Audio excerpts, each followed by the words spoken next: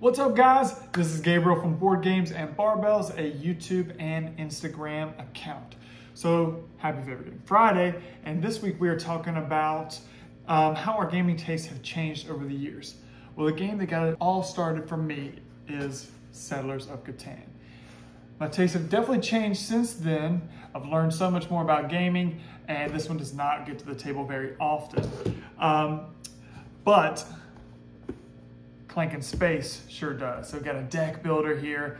That's something I'd never heard of at the time.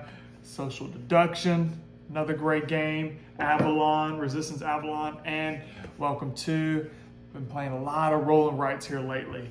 Um, one thing I've noticed though is protecting my board games has definitely changed. I mean, what in the world? Anyway, guys, have a happy Friday and remember to keep playing games and go get those gains.